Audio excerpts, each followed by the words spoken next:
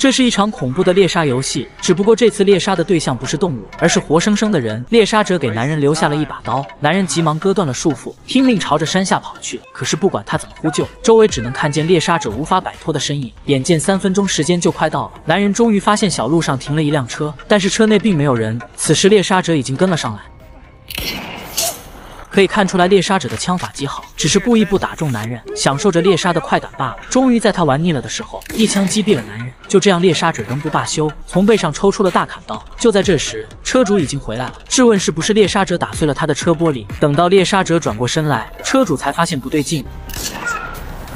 等到联邦调查局赶到的时候，现场只剩下一具没有头颅的男人，还有那个无辜被杀害的车主。根据无头男人身上的证件，探员调出来他的身份，男人叫约翰，十年前被起诉侵害少年卡尔文，但是请了一个很厉害的律师，加上证据不足，最终撤诉。这让探员们感觉到，也许是受害者卡尔文长大了，展开了这次复仇行动。这个被杀的车主佩戴了头戴摄像机，清晰录下了猎杀者行凶的画面。可以看出来，这个猎杀者并不害怕暴露行踪，明明发现了摄像机都没有取走。正在联邦探。员调查的时候，猎杀者再次开启了猎杀模式。他绑架带来一个律师，先是宣判他替约翰辩护，导致坏人逍遥法外，要对他进行私刑审判。念在她是女人，给她二十分钟的逃跑时间。猎杀者享受着猎杀快感，掏出一颗苹果，慢悠悠地啃了起来。等到联邦调查局发现女人尸体的时候，跟被杀的约翰一样死状恐怖，已经被人割去了头颅。现在死去的两人都是约翰性侵案的关键人物，那么这个被侵害的少年卡尔文顿时成了最大的嫌疑人。而此时的猎杀者卡尔文仿佛已经上瘾一般，不断在纸条上写下一个个名字，随后打开一个睡袋，这里面早已有个被他绑架来的男人。他拿过刚刚写下的名单字条，让惊恐万分的男人挑一个出来。联邦调查局马上来到了卡尔文的家中，但是来晚了一步，卡尔文已经带着被他绑架的男人离开，现场只剩下那两枚被他割下的头颅。现在很明显，卡尔文长大以后，为了报复当年逃过法律制裁的性侵者和律师，这才做下这起案子。只不过已经大仇得报，不明白卡尔文为什么还要继续绑架杀人。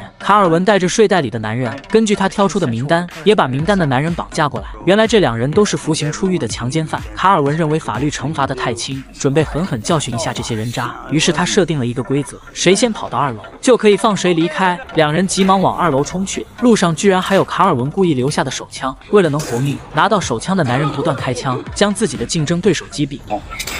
不过卡尔文根本不准备放过他，只凭一把弓箭便将这个男人私刑处死。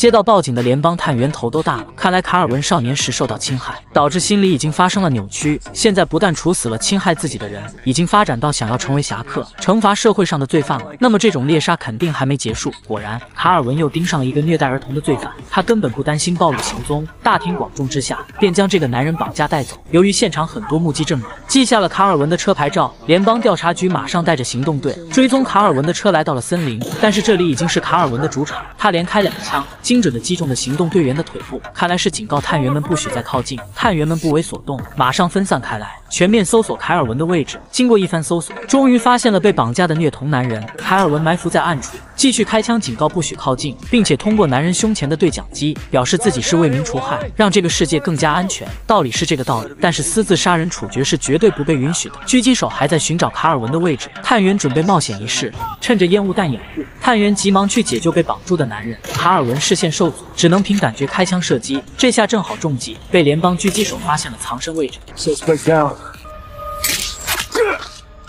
哥伦比亚拉斐尔集团的大毒枭刚刚被引渡至纽约，便被埋伏的狙击手一枪毙命，掀起了该集团的子女争权的序幕。紧接着，纽约一家珠宝店的门口，武装押运刚刚取走一批蓝宝石钻石，两个蒙面匪徒已经持枪靠近。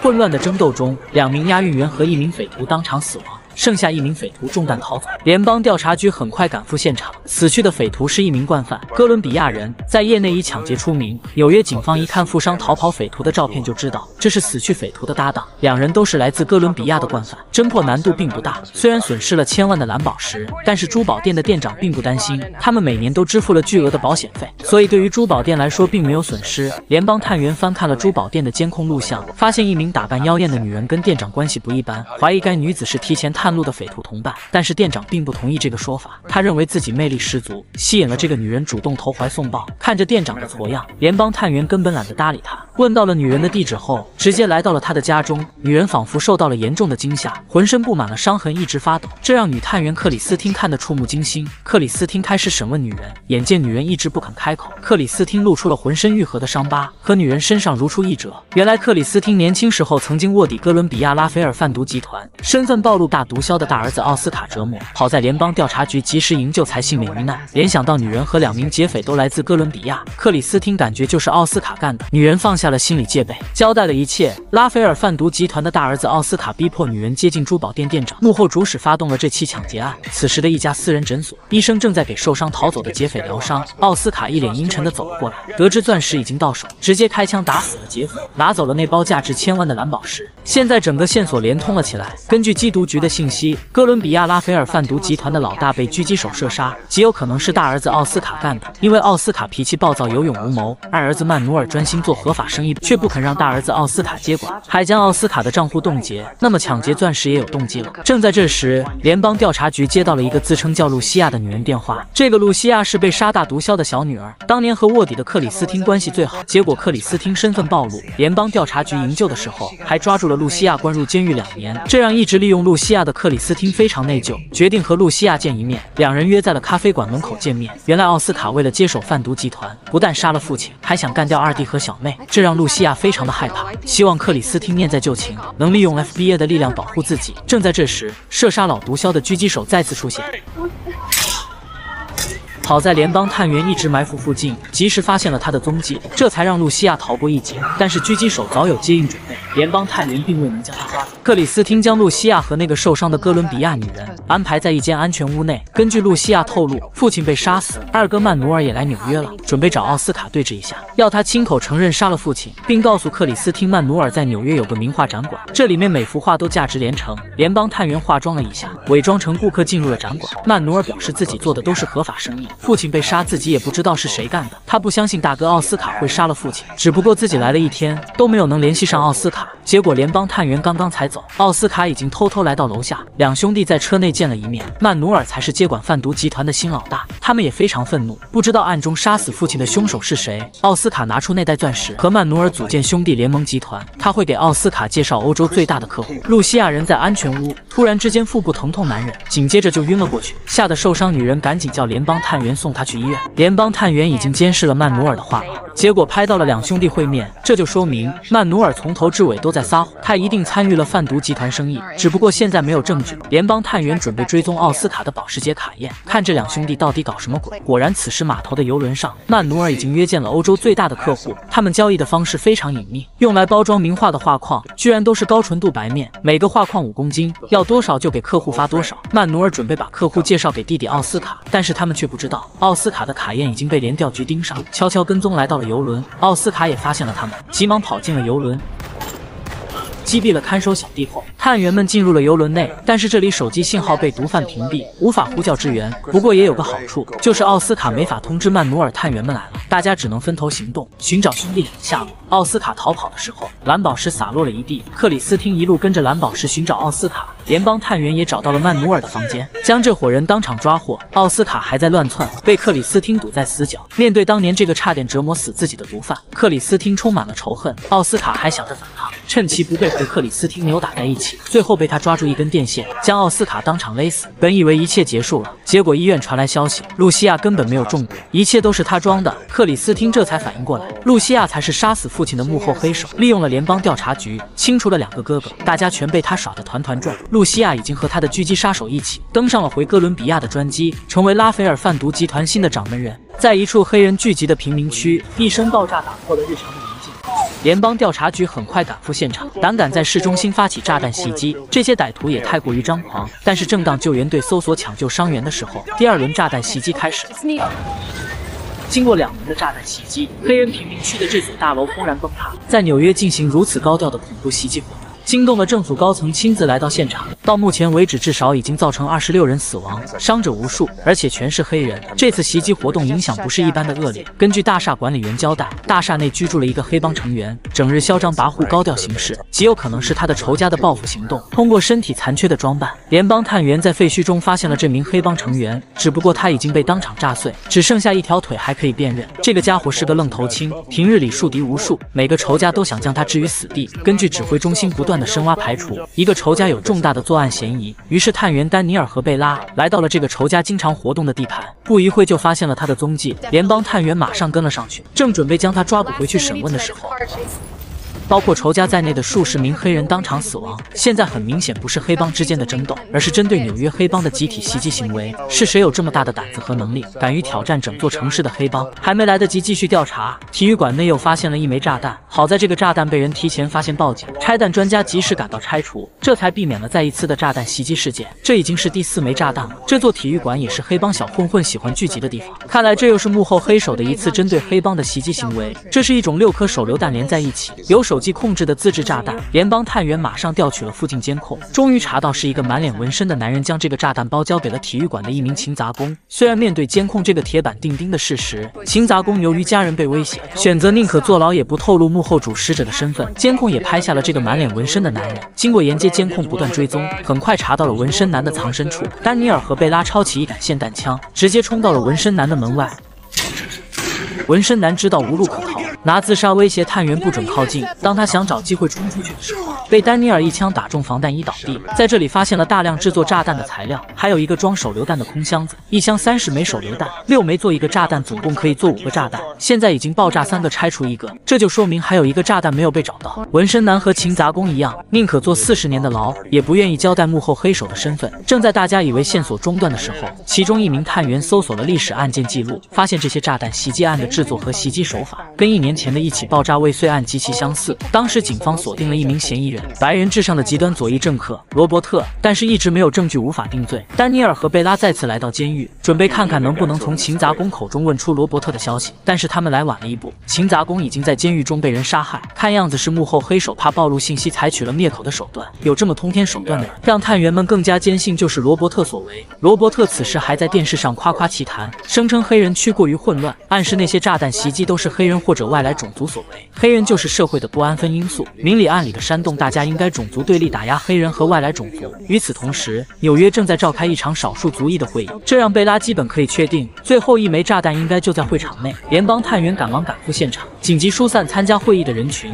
这时发现了一个人鬼鬼祟祟，联邦探员马上追了上去。经过一番搜索，果然发现了装有炸弹的手提袋，仍然由一部手机控制。探员急忙开始动手拆除。与此同时，贝拉和丹尼尔再一次找到了罗伯特。面对探员的指控，罗伯特根本不当一回事。他知道联邦调查局没有找到关于自己的证据，眼见会场内人都快疏散完了，再不动手就没机会了。罗伯特声称要给律师打电话，其他的不愿意再谈。罗伯特慢慢等，拿出手机，拨通了炸弹绑定的手机号码。正在他洋洋得意的时候，对面却传来了联邦探员的声音。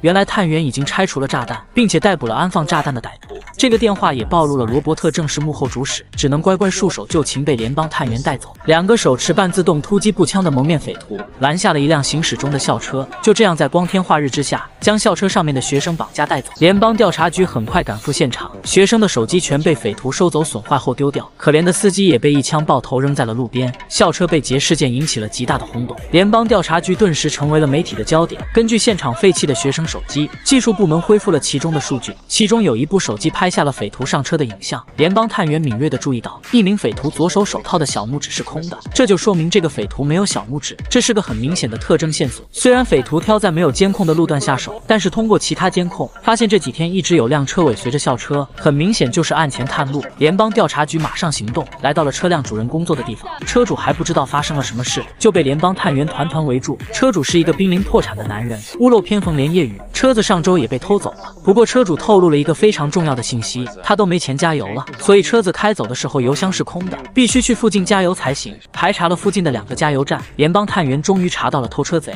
偷车贼戴了帽子，看不清正脸，但是他的手无聊时扶在了加油箱上，这个位置平时人触碰的不多。指纹小组很快提取了清晰的指纹，锁定了偷车贼吉文斯，而且他的身高、体型还有缺失的小拇指，完全和两名劫匪中的一人吻合。由于此事过于重大，联邦调调查局两个精英小组联合行动。正在这时，匪徒给州长发来了勒索信息，他们知道这个案件的影响力，所以并没有联系任何一个家长，而是直接问州长要价一千万。他们知道州长迫于舆论压力一定会付款。丹尼尔和哈娜来到了吉文斯的住址，正好碰见他在楼下倒垃圾，双方随即发生了交战。等到丹尼尔冲到楼下的时候，地上的血迹说明吉文斯已经受伤，但是还是晚了一步。吉文斯发动车辆逃脱了追捕，指挥中心查到了吉文斯的手机号码，马上指引丹尼尔追了上去。但是奇怪的是，最终手机信号停在了一辆垃圾车上，司机并没有见过吉文斯。经过一番搜索，吉文斯已经死亡，不知道怎么跑进了垃圾车里。另一组探员已经找到了吉文斯丢弃的车，但是血迹都在副驾驶，说明当时他是坐在副驾，有人开车接走了他。然后看吉文斯已经不行了，所以将他丢进了垃圾桶，被垃圾车带走。监控清晰的拍下了驾驶员的面容，没有案底记录的凯恩，但是她的丈夫泰勒却是一个白人极端主义组织的头领，更是一个暴力极端犯。现在案件逐渐清晰，是这个泰勒和吉文斯劫持了校车，勒索一大笔钱，就是为了支持他们的白人极端组织运动。指挥中心经过各方线索分析，最终确定了这个白人组织藏身的基地。联邦调查局和行动队马上出发，悄悄地潜入基地，将这里围了个水泄不通。经过一番搜索，果然发现了被开走的校车，隐隐约约已经听到屋内有人在看电视。联邦探员马上冲了进去，果然泰勒和手下都藏在此地。手下被当场击毙，泰勒穿了防弹衣，但是看上去也是重伤。虽然他拒不交代孩子被关押在哪里，但是经过仔细搜索，联邦探员还是找到了所有的孩子，平安解决了这起绑架案。不过清点人数的时候，探员们发现一个富商的儿子不在其中。丹尼尔两人马上来到了富商家中，果然泰勒发现人质中居然有一个富二代，已经私下联系了富商，收到一百万赎金后，提前释放了富二代。这就意味着泰勒的白人组织已经拿到了一百万。联邦探员此时还不知道，有了这一百万，一场更大的袭击即将来临。被极端组织洗脑的歹徒有多可怕？这天的上午，一个女人走进了孕妇辅导中心，底下的准妈妈还不知道，恶魔已经来到了他们的身边。这个女人叫凯恩，是上级校车绑架案的主谋泰勒的妻子。泰勒被联邦探员击毙以后，凯恩继续带领白人至上的极端组织进行他们的外来种族清洗事业。凯恩屠杀了孕妇辅导中心以后，还在网上大肆散播白人血统纯正的言论，不应该让外来种族的孩子出生，这让探员们非常头疼。而且上级虽然救出了校车的孩子们，但是凯恩的一百万美元已经到手，有了这笔钱，还不知道这个组织会搞出什么大动静。技术部门调出了富商交赎金时的监控，锁定了凯恩拿走一百万。时乘坐的车辆，这是一辆福特猛禽。联邦探员和行动队马上出发，来到了车辆主人的住址。但是这辆车一直由车主的儿子卡特驾驶，卡特早已不再回家。看来这个卡特也加入了清洗外来血统的组织。此时的凯恩已经在黑市联系了一个卖家，购买了一枚威力巨大的炸弹。凯恩准备让全国看到他们的动静。联邦调查局一直追踪凯恩乘坐的福特猛禽，等他们追踪到达交易地点的时候，凯恩已经带着手下离开。探员在旁边的垃圾堆发现了一些远程操控玩具车，车内的接收器和遥控器已经被取走。经验丰富的探员一眼就看出来，匪徒可以利用这些制作远程引爆的炸弹控制器。这下让联邦调查局高度紧张起来，必须动用一切资源，确定凯恩想要袭击的目标。终于，警方发现了卡特的福特猛禽的踪迹，他正开车去往郊外，被联邦调查局和警方前后堵住。但是这个卡特也被白人血统至上的言论洗脑，完全不管不顾，居然单枪匹马就敢与数十倍的警方对抗，当然被当场打成了筛子。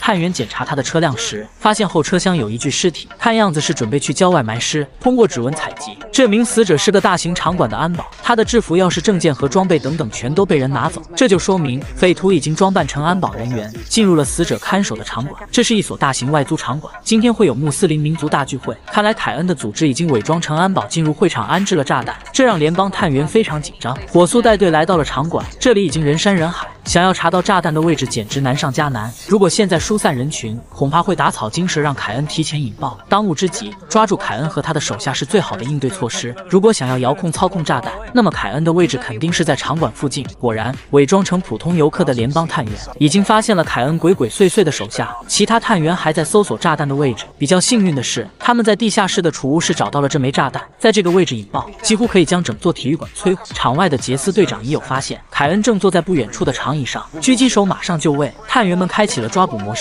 哈内两人装作吵架，分散了凯恩手下的注意力，然后突然出手，将这两名匪徒按倒在地。凯恩打电话发现联系不上手下，预感到不对劲，慌忙的掏出了遥控器。此时杰斯队长出现，开始言语分散他的注意力。眼见始终无法劝降，炸弹又无法拆除，此时狙击手已经瞄准了凯恩，于是杰斯队长默许了狙杀指令。终于剿灭了这伙犯下数起大案的极端组织。恐怖分子的袭击手段越来越与时俱进。这是一架改装后的武装无人机，歹徒利用它遥控实施恐怖袭击。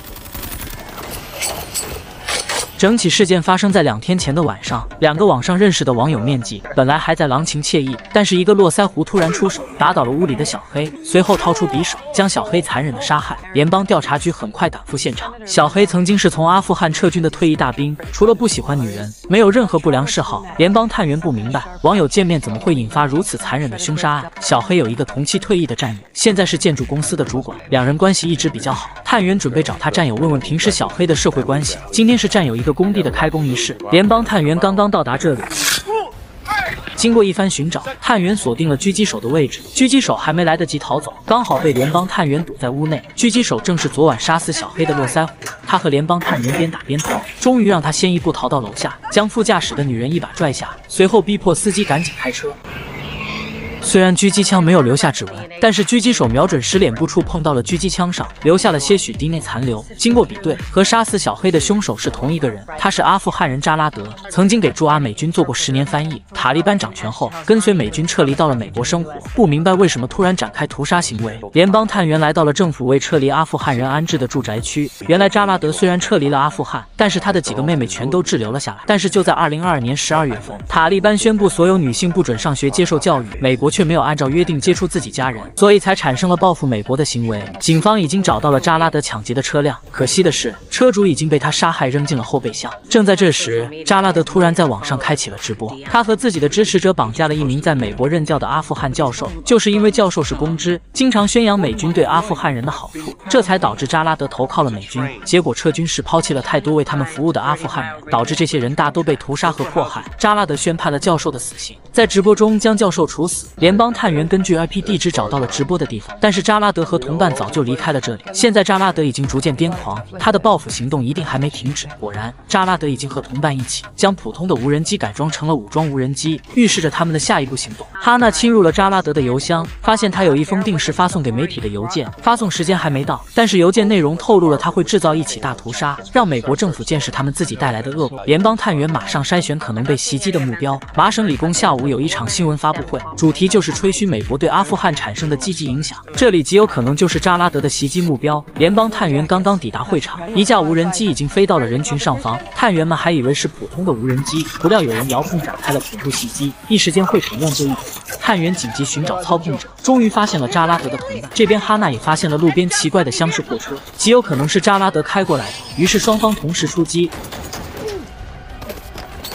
虽然击毙了罪犯，但是无人机仍然在疯狂扫射。探员马上举枪对准无人机，连续开枪才将其击落。如果美国的核酸检测被歹徒利用，可以近距离接触到州长做核酸，那么这次刺杀州长的行动根本让人防不胜防。核酸检测员将棉签抹上了致命剧毒，先是给保镖捅了鼻子，然后就是毫无防备的州长。整个采集的过程不过一分钟，但是很快保镖就浑身抽搐。随从警员将他拖下车的时候，保镖已经当场断了气。接下来州长也觉得不对劲，短短几分钟的时间，州长和保镖就被杀手成功刺杀。时间回到头天晚上，三名律师正为了一起案件的胜诉而庆祝，突然开来一辆黑色 SUV。三名律师当场被乱枪打死。三名律师同是一个检察官的副手，他们定罪的犯人实在太多，最近几年的案宗堆积如山，想要查出得罪了谁，简直是大海捞针。案发现场只有一台最老式的监控，角度很窄，根本拍不到车辆的车牌照，更不用说凶手的面貌。不过看遇害几人的反应，很显然和凶手是认识的。正在联邦探员四处巡查凶手的时候，一名中年男人出现在受害者上司检察官的办公室。只见他熟练地打开了密码箱，拿出了里面的一袋东西。随后镜头一转，这。个检察官也被男人杀害。离开没多久的联邦探员再次回到办公室，这个检察官的整个办公室四人全被杀害，这就很明显是针对这个办公室的行凶案。联邦探员咨询得知，保险柜内是检方刚刚取来的证物，一包剧毒药剂，本来是上庭要用到的，这让探员感觉到，也许是检察官正在办的这起剧毒案引来了杀身之祸。进出检察院必须经过严格盘查，任何人进入必须实名登记，但是检查了所有进出记录，都没有一个可疑人员。检察官办公室没有监控，于是探员调出检察官遇害时间地下车库的车辆进出记录。由于已经过了下班时间，车库的车流量并不大，最终一辆黑色 SUV 进入了探员的视线，这跟杀死三个律师的车辆非常吻合。但是令大家吃惊的是，这辆 SUV 居然是六区巡回法官里尔克的车，这让大家难以置信，法官怎么可能是杀人凶手？但是随着深挖，被杀的三个律师经常与里尔克法官唱反调，甚至想要指控他贪污受贿、看人量刑，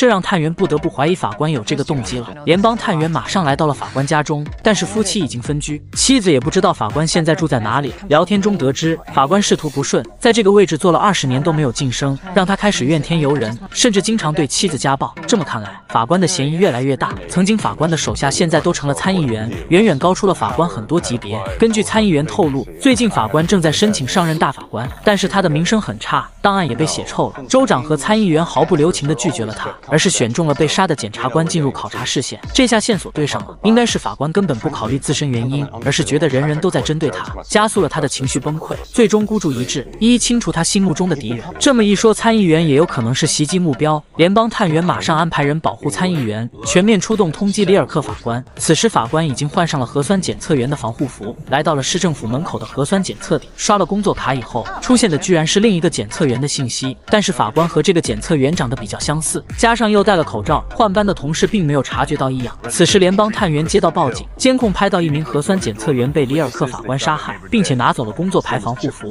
开走了检测员的车辆。大家非常纳闷，里尔克去杀一个检测员做什么？看到照片才反应过来，检测员和法官长得太像了。那么法官一定是利用检测员的身份要去做什么？此时市长的车队已经来到了核酸检测点，必须做了核酸才可以进入市政府。法官出示了检测员的身份证件，没有引起保镖的怀疑，顺利的给保镖和州长做了核酸酸。紧接着就发生了开头的一幕，州长和保镖双双毙命。联邦探员此时才查到，检测员最近被分配到了市政府门口。联想到法官从保险柜取走的剧毒，法官是要去暗杀州长了。可惜等他们赶到的时候，州长和保镖已经无力回天，但是法官也没来得及跑远，刚刚冲进车内发动了车辆。联邦探员开始发动萨博班，对法官进行全面围堵，最终在大家的合力下，将法官击毙在检测员的车内。